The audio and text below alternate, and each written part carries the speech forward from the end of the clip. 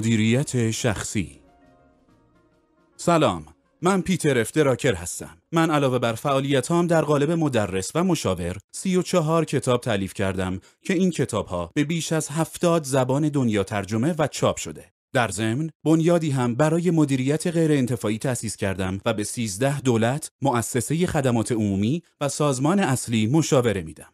می‌خوام توی این کپسول صوتی درباره مدیریت شخصی باهاتون صحبت کنم. ما آدم ها باید مدیریت بر خودمون رو یاد بگیریم. باید یاد بگیریم که چطور پیشرفت و بهترین جایگاه رو پیدا کنیم. این یعنی باید بدونیم چطوری و در چه زمان روش کاری خودمون رو تغییر بدیم. مدیریت شخصی یعنی مدیریت بر خودمون و هر کاری که می‌کنیم. این کپسول صوتی نکاتی رو بهتون میگه که کمک می‌کنه زندگی شخصیتون رو بهبود بدین و به خصوص در زمینه کسب و کار پیشرفت کنین. قرار توی این کپسول صوتی به ارزش های خودمون پی ببریم.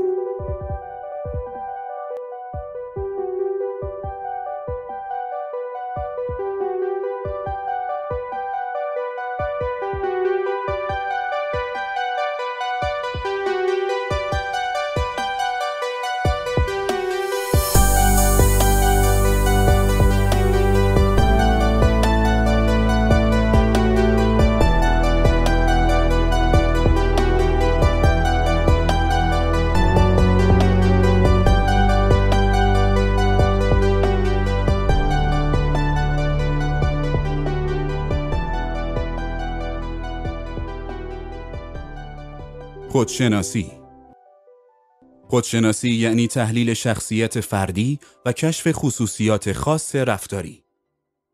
شما با خودشناسی می‌فهمین چه توانایی ها و چه ضعف هایی دارین. در گذشته مردم نیاز نداشتن توانایی های خودشون و نقاط قوت و ضعفشون رو بشناسن.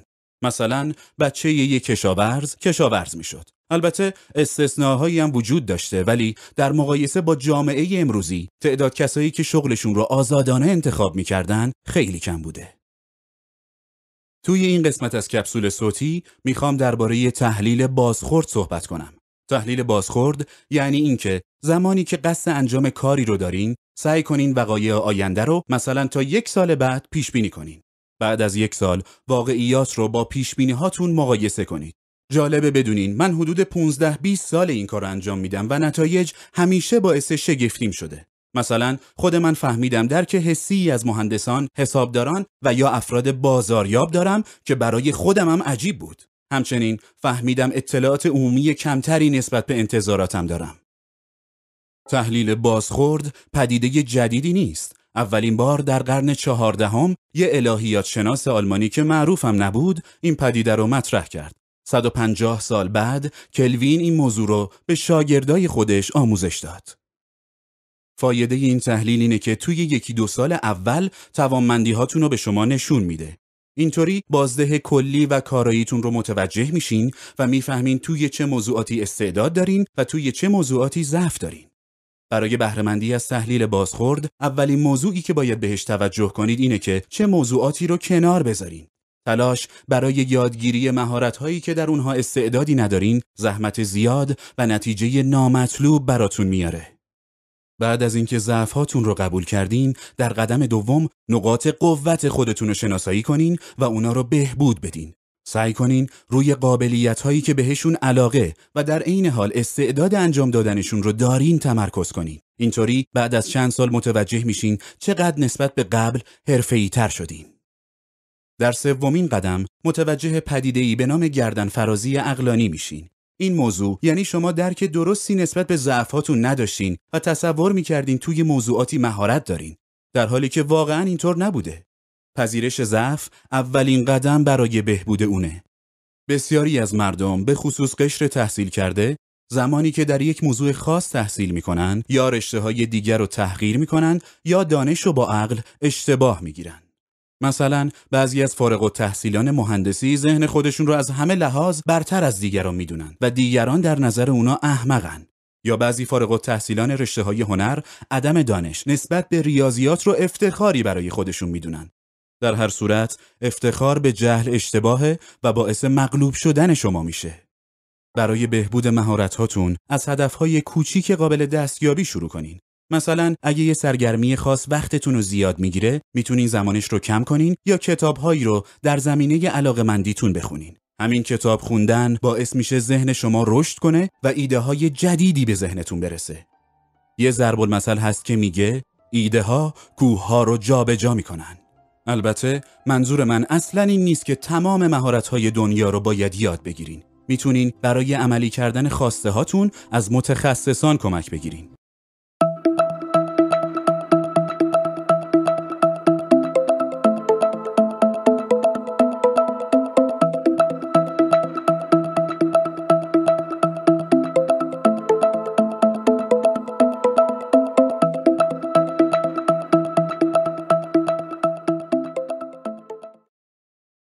چگونه عمل کنم؟ یه ایده زمانی ارزش واقعی خودش رو پیدا می‌کنه که به مرحله عمل برسه. برای این کار اول از همه باید قدرت بیان و روابط عمومی قوی داشته باشین. نیازی نیست حتما مثل افراد فرهیخته کنفرانس بدین، بلکه همین که اخلاق مناسبی داشته باشین کفایت می‌کنه.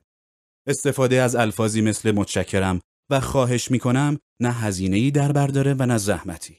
همین که برای شخصیت دیگران ارزش قائل بشین خود به خود اونا رو مشتاق برای شنیدن می‌کنین. فقط به دانش علمیتون تکیه نکنین. هیچ کس از یه آدم بیادب که خودشو باهوشتر از همه می‌دونه خوشش نمیاد.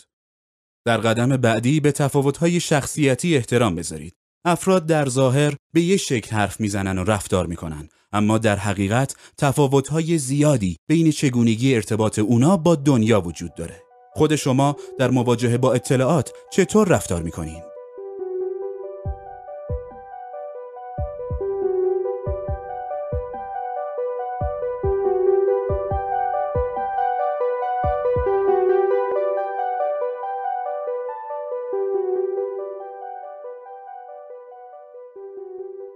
دیداری یا شنیداری منظورم از بکار بردن دیداری و شنیداری میزان قدرت قوه بینایی و شنوایی شما نیست بلکه ترجیح مغز شما برای دریافت و پردازش اطلاعاته. مثلا آیزنهاور یکی از رئیس جمهورای آمریکا دیداری بود. زمانی که فرمانده ارشد قوای متحده بود با ظاهری آراسته و محکم سخنرانی های باشکوهی انجام می‌داد. اما همین آدم ده سال بعد یعنی زمانی که رئیس جمهور بود به ضعیفترین شکل به سوالات خبرنگارها پاسخ می‌داد. علت این بود که زمانی که آیزنهاور فرمانده بود زیر دستاش از قبل تمام موارد مهم و جواب سوالات احتمالی خبرنگارها رو بهش می‌دادند تا برای تمامی سوالات جوابی داشته باشه. اما در زمان ریاست جمهوریش سعی کرد شیوه رئیس جمهور قبلی رو پیش بگیره. رئیس جمهور قبلی شنیداری بود و به راحتی متوجه سوالات می‌شد و بهترین پاسخها رو به اونها می‌داد. آیزنهاور تصور می‌کرد هر رئیس جمهوری باید به این شکل عمل کنه و این باعث شد خبرنگارها اونو به عنوان شخصی که حتی دستور زبان انگلیسی رو نقض می‌کرد بشناسن. خبرنگارها به علاوه شاکی بودند که چرا رئیس جمهور به بعضی سوالات پاسخ نمیده و از اون طرف درباره موضوعات بی ربط ساعتها صحبت می‌کنه. مشکل اصلی آیزنهاور در واقع از باورهاش نسبت به نظام آموزشی بود. اون تصور می‌کرد می‌تونه با تمرین کردن شخصیت خودش رو تغییر بده. حتی کسایی که ادعا می‌کنن چنین چیزی ممکنه با تمرین خیلی زیاد به مغزشون این تغییر رو تحمیل کردن.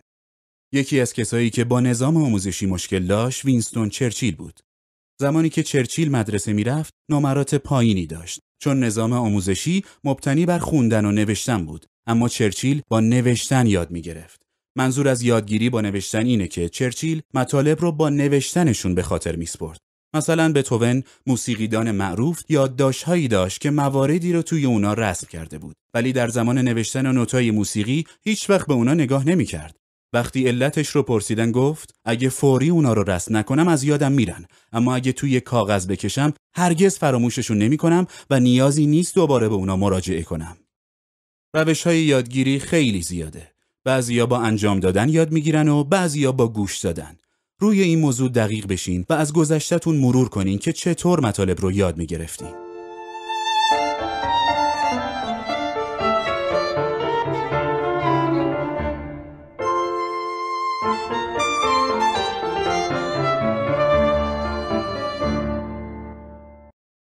درونگرا یا برونگرا حتما در مورد این دو زیاد شنیدین افراد درونگرا کسایی هستند که تنهایی رو ترجیح میدن و برعکس برونگراها ارتباط با دیگران رو. البته این موضوع اصلا ربطی به بیماری هایی مثل افسردگی یا بیش فعالی نداره بلکه به لحاظ علمی نحوه دریافت انرژی این دو متفاوته. درونگراها زمانی که تنها هستن باتری ذهنشون شارژ میشه. پس بعد از جایی که نیاز به روابط عمومی داره مثلا یه مهمونی نیاز دارن که تنها یه جا استراحت کنن. در مقابل افراد برونگرا با ارتباط با دیگران انرژی می‌گیرن. این افراد بعد از یه روز کاری با گردش های خانوادگی یا دوستانه خستگی کار رو به در می‌کنن. در واقع های زیادی در شخصیت افراد وجود داره و همین ها باعث عدم درک متقابل میشه. از خودتون سوالات زیادی بپرسین. مثلا بپرسین آیا من مشاور خوبی هستم؟ آیا در مواقع بحرانی خوب عمل می کنم؟ آیا من به محیطی با ساختار منظم احتیاج دارم؟ اینها سوالهایی که باید با صداقت بهش جواب بدین. چیزی که واقعا هستین رو در نظر بگیرین نه چیزی که دوست دارین بشین. باور کنین تنها شغلهای خاصی نیستن که اعتبار دارن بلکه هر کس اگر در حیطه استعداد و تواناییهاش موفق بشه می‌تونه تبدیل به یه الگو برای بسیاری از افراد بشه.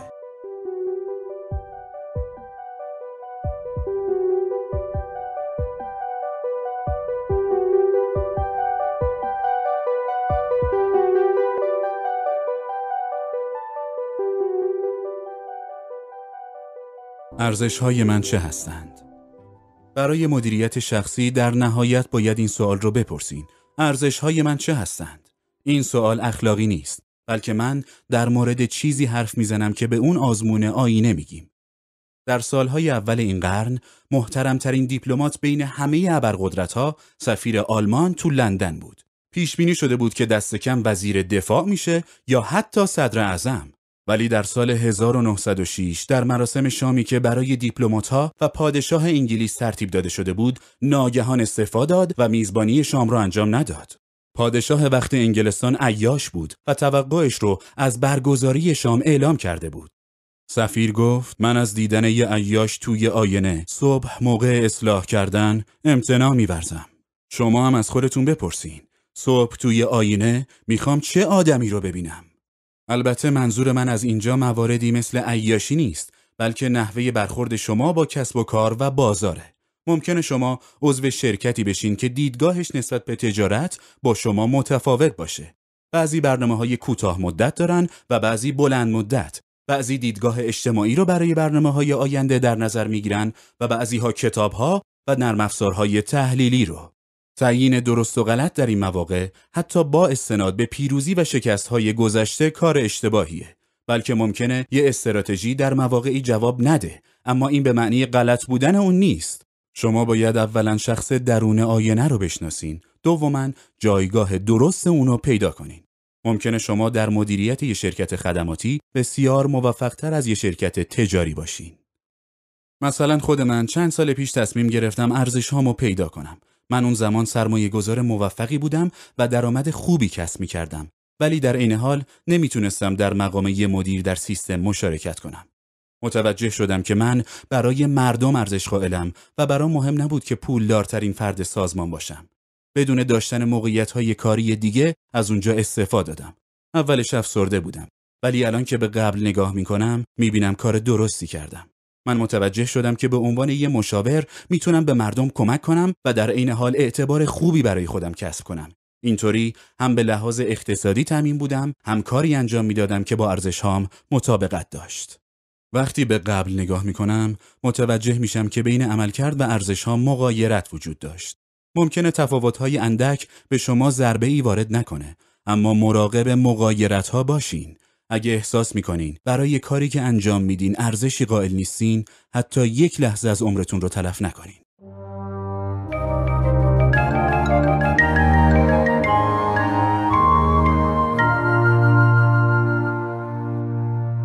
سهم مشارکت من چیست؟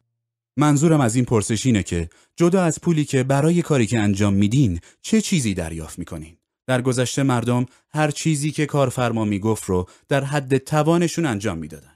اما امروزه فعالیت کاری فقط توی پول خلاصه نمیشه. خیلی از مردم دنبال افتخار، شهرت یا کسب دانش بیشتر هستند. برای فهمیدن پاسخ این سوال اول باید به سه سوال جواب بدین. نیازمندی های موقعیت کنونی چیه؟ با دونستن درباره توانایی ها، قدرت ها، روش انجام دادن کار و ارزش هام چطور می‌تونم به بهترین شکل در انجام دادن کار مشارکت کنم و چه نتایجی باید به دست بیاد تا تغییر ایجاد بشه. مثلا زمانی واقعا به پول احتیاج دارین. در این مواقع شاید کاری رو پیدا کنین که مطابق میلتون نباشه ولی از پسش برمیایین. به این کار به چشم یک کار همیشگی و تمام وقت نگاه نکنین. باز هم دنبال ارزش هاتون بگردین. مثلا بودن نویسنده های بزرگی که کار دیگه ای داشتن اما هرگز استعداد و علاقشون در نوشتن و فراموش نکردن و آثار بزرگی خلق کردن. در زندگیتون تغییر ایجاد کنین. اهدافی رو در نظر بگیرید که در عین بزرگ بودن عملی و قابل انجام باشن و بشه در نهایت تغییرات رو احساس کرد. همچنین ممکنه توی زندگی شخصیتون مشکلاتی به وجود بیاد. داشتن فعالیتی که توی این موارد خودتون رو بهش سرگرم کنین علاوه بر اینکه بهتون روحیه میده می‌تونه اسم شما رو موندگار کنه. خیلی از آهنگسازها یا خواننده ها در واقع شغل دیگه ای داشتن ولی توی تاریخ با این عنوان ثبت شدن. چرا که احساس واقعیشون در مواجهه با مشکلات رو به صورت آهنگین در می آوردن.